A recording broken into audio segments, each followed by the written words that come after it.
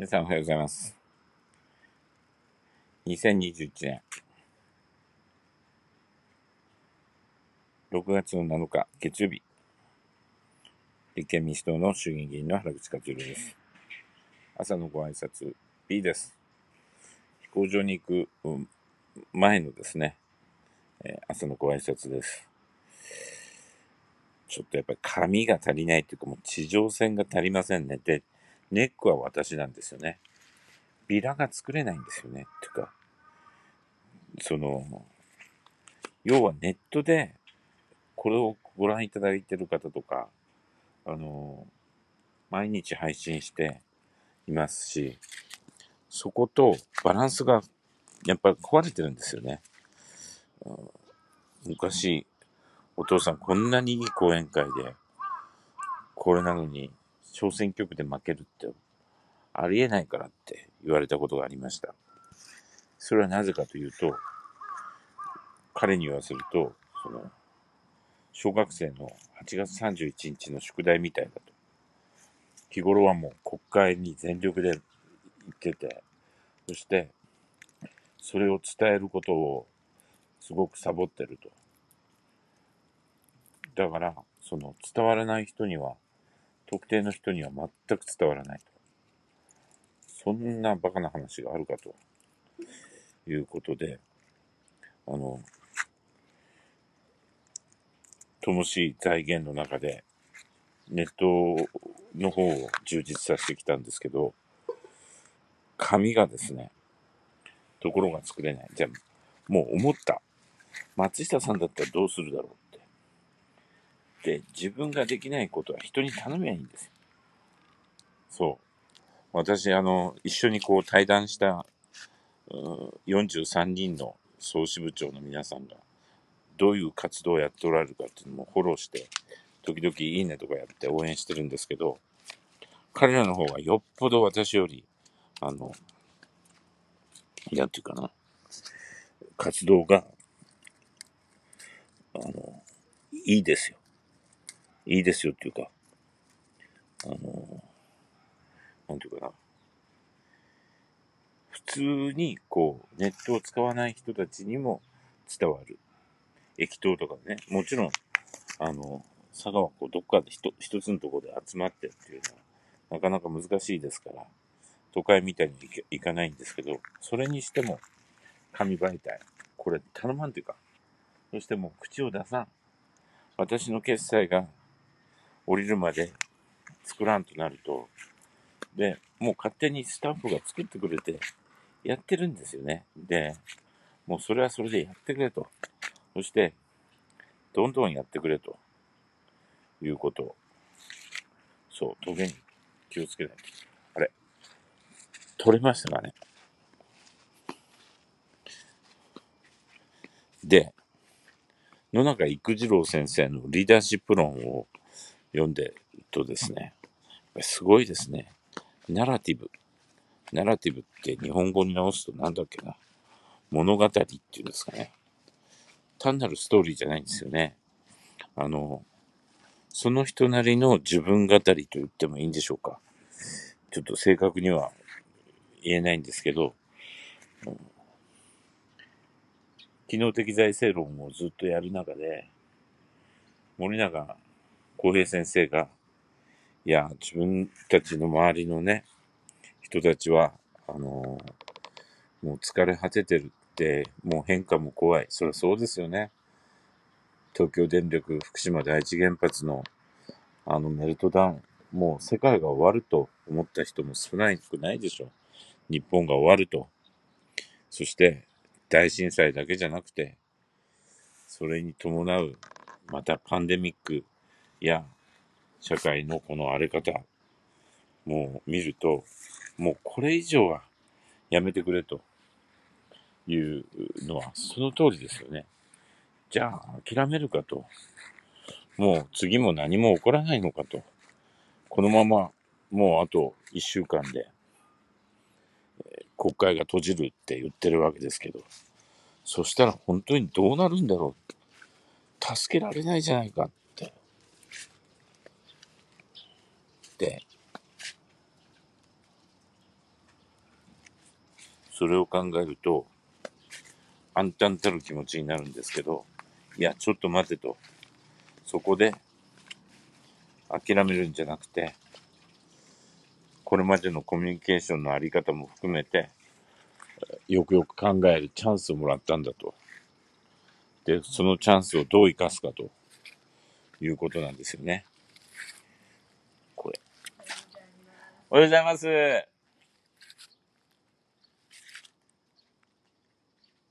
あいつもそこにお茶をあれしてくださるんですね。そ、その、お地蔵さんですか、それは？ええ。あ、そうなんですか。ええええ。あ、魚もっとん作権があの七福神の、あ、そうですか。それ、どなたかが水にな亡くなったとかそういう。あ、あ、あ、そがんですか。ありがとうございます。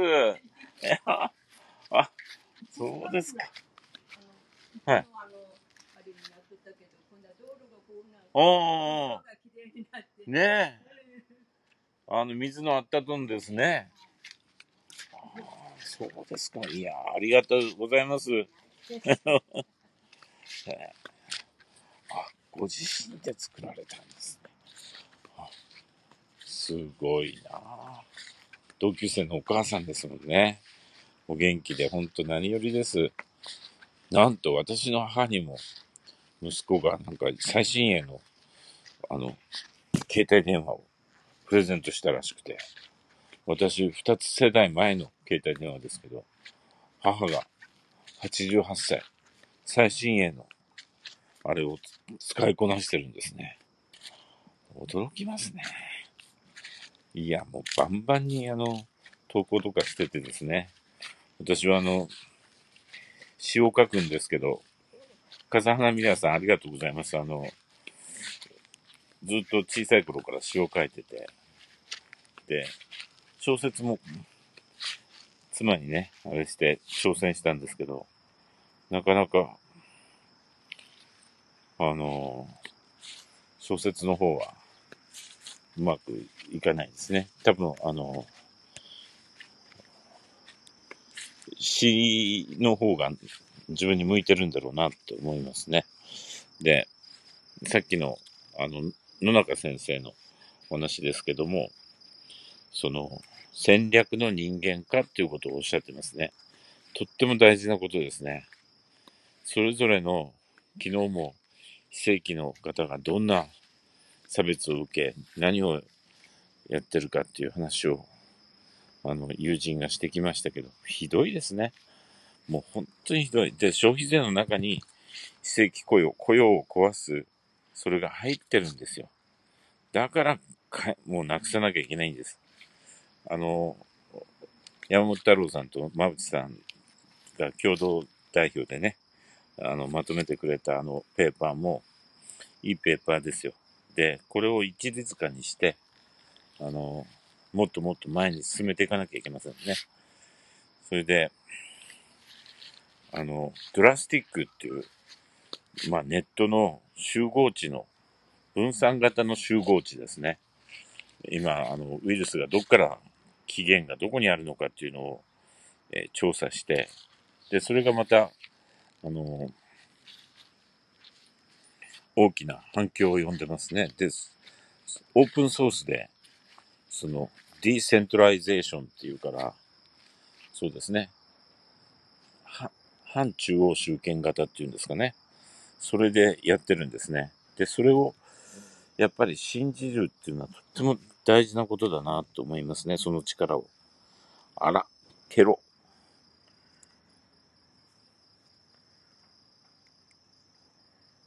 あんた水なくて困っとらんですか？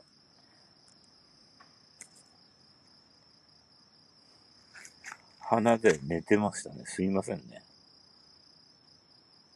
ケロですね。ごめんね、起こしたね。はあ、鼻の上でこうやって寝れたらいいですよね。で、その decentralization のドラスティックの人たちの活動をこう、追っかけてみて面白かったのは、あれを思い出しましたね。サマーウォーズっていう作品を。私があの大臣の時に、えー、賞を、あの、すごい人たちに賞っていうのがあって、その中の一つがサマーウォーズなんですね。で、それもその decentralization の集合知。分散型の集合知なんですよ。で、そこにはなんていうかな、邪悪な、そのネットの、まあ、ボスみたいなのが出てきて、で、世界が終わるみたいな設定だったと思いますけども、それに、その、みんなが、なんとかな、良心がこう広がっていくんですね。良い、なんとかな、あれが広がってって、蚊にやられますね。ゴンタ。ゴンタお腹出てますよね。私も今度佐賀帰ってもう美味しいものばっかなんで、あの、制御するのにすごく苦労しましたけど、一回は半分にすりゃいいっていうことでね。皮ダメです。もう本当に。あ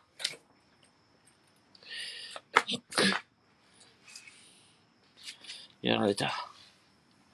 もうちょっと蚊取り線香の中に入っておくしかない。しかも足をこうやって出してるんで。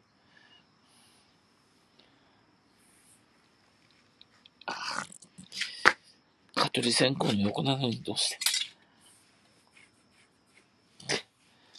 こう飛び火になるから嫌いなんですよ。それではちょっともうやめてか。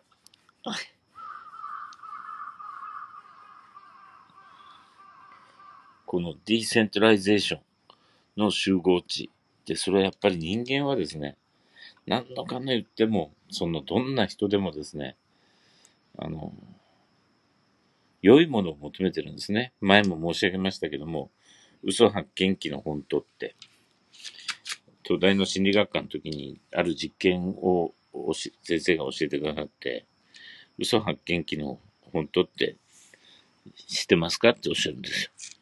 あれは僕がつけた名前かな。その、嘘発見器って、その人の嘘を見分けるものですね。皮膚の電位とかそういうので。で、嘘を見分けるだけじゃなくて、本当のこともわかるんだと。それはですね、人間は、卑猥な言葉、それから汚い言葉、それを聞くとですね、あの、皮膚の電位が上がるんです。つまり、心が拒否するんです。それが本質ですよ。だから、あの、悪い人はどこまでも悪いと。徹底的に悪いと。私ももう右とか左とかそういうの関係なしに、たくさんの、面白いと思ったら、必ずお話をするようにしてるんですね。そうすると、何て言われるかっていうと、その人と話すのはやめてくれっていうわけですよ。で、それは私の考え方と根本から違うんですね。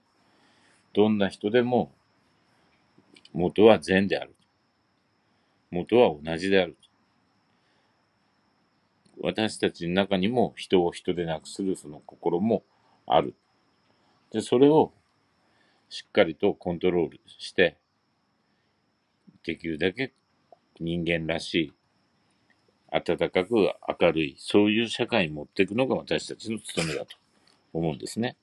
だから、人一人を、その、排除したら、今度も、あの、私がチャンネル登録してしょっちゅう聞いてる三橋さんからですね、三橋先生からあの、リクエストが来て、あの、お話を、えー、三橋テレビで、に出させていただくと大変光栄なことです。ただ、この話をある友人にしたら、それは立憲の副代表をしてんだから、その自民党さんから出られた方にね、そうやってかつてなんかヘイトだなんだっていうことを言ってましたよ。あの、それ出るのどう？って言うから、いや、そんなこと、だってこの財政の真実についてどれだけたくさんのことを教えてくださってるかわからないじゃないかと。自民党から出たからダメだって言うんだって、俺だってそうだと。えー、25年前じゃないや、もう30年ぐらい前になりますけど、自民党の青年局長だったから、じゃ、だったら俺だってもうダメじゃんっていう話をしたんですけどね。あの、人と、こう、良いものをこう、とことん追求していくためには、人を排除しないっていうか、いい人はいい。過去の発言は、それはその人の責任ですけども、その、リベラルを旗印に言って、そのリベラルって何ですかということですよ。あの、たくさんのものに対して寛容であると。そして流されないということなんですね。松下さんがよく言ってました。清濁合わせの目って言うけども、それは清も濁も知って、そして濁を流すことなんだと。100%理想の人なんかいませんよね。自分もそうだけど欠陥だらけですよ。でもその欠陥だらけだからっつって人と話すのをやめてたら、それ、そこにはもう成長も何もないですよね。コペルニクスだって昔はもう、それこそ常軌を逸した人だって言われてたわけでしょ。でももう今そっちが正しいでしょ。だから、あの、積極的にいろんな知恵を集めて、周知を集めて、右とか左とか保守とか革新とか、コンサバとかリベラルとか、そんな枠を超えてですね、日本を、非いずる国、ジパング、非いずる国、日本を再生していきたいと思いますね。そうですね。排除じゃなくて、インクルーシブ。もちろんそうです。人間の尊厳について、そこはもう絶対ですよ。そのためにもね、仮に人間の尊厳について、あの、理解が足りない方がおられたら、それは理解をしていただければいい。そう思いますね。じゃあ、もう、蚊に、7発やられて、足がボロボロ。やっべえ。では、皆さん、ごきげんよう。良い一日を。モスキートね。そうです。蚊です。栄養をありがとうございます。そう、靴下履くべきだし、ズボン履くべきです。では、良い一日を。またね、飛行機から空が映せるといいですね。今度の空は綺麗でしたよ。では。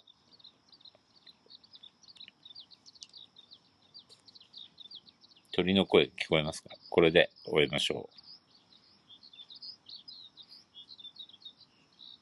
ありがとうございます。